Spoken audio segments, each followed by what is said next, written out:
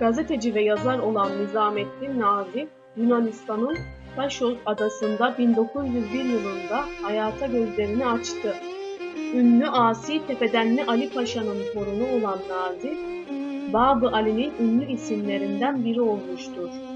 Nizamettin Nazif, 1911 yılında drama rüştiyesini bitirdikten sonra İstanbul'da Fransız liseleri, Deniz Harp Okulu, Hukuk Fakültesi ve Yüksek Ticaret Mekteplerinden sonra Nazım Hikmet ve Vala Nurettin ile beraber Moskova Üniversitesi'ne gitmişlerdir.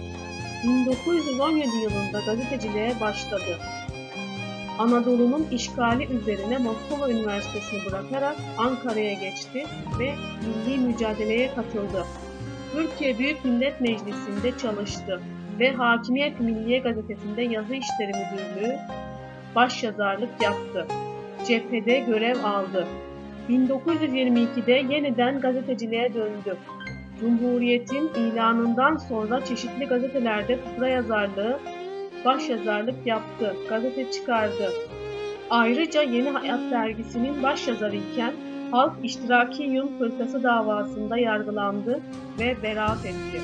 İktam, Yeni İstanbul gibi gazetelerde yazılar yazmıştır.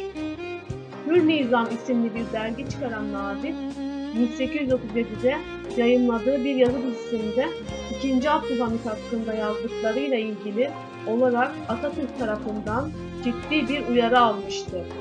Tepedenlioğlu haksızlığın, ahmaklığın ve peşin hükmün karşısında bir tavır sergilemiştir. Mesleğine çok önem vermiş ve mesleğinin haysiyetini her şeyin üstünde tutmuştur. Yanaşmalık ve kapı kulluğu düzenini şiddetle reddetmiştir. Devlete bağlı ve haklının yanında haksızın karşısında bir tutum sergilemiştir. Eserlerinde Osmanlı'nın kaybetmiş olduğu toprakları ve müesseselerin önemini ıstıraplı gür sesiyle ifade etmiş ve dik duruşunu bozmamıştır.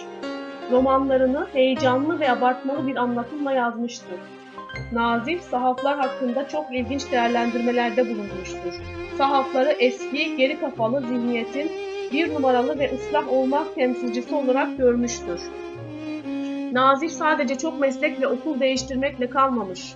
Ayrıca 9 evlilik yaparak sürekli eş değiştirmiştir. Eşlerinden birisi yazar olan Suat Derviş'tir.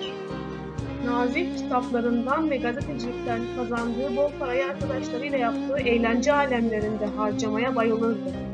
Arkadaşları ona Deli Nizam adını yapıştırmışlardı. Kitapları bulunamaz olan Nazif'i çoğu zaman ortalıkta bulmak mümkün olmazdı. Gazeteciliği dışında tarihi romanlarıyla da ünlü olmuştur. Kara Davut romanı büyük ilgi görmüştür. Yazarın en ünlü eseridir. Cumhuriyet devrinde yazılmış, Osmanlı ile ilgili ilk roman kabul edilir. Yeni İstanbul gazetesinde köşe yazarı iken kalp yetmezliğinden öldü. 25 Mayıs 1970'te İstanbul'da vefat eden Nazif'in kabri Silivri Kapı Mezarlığı'ndadır. Eserlerinden Bir Millet Uyanıyor, Kara Davut, Beklenen Bomba Beyaz Perde'ye uyarlanmıştır.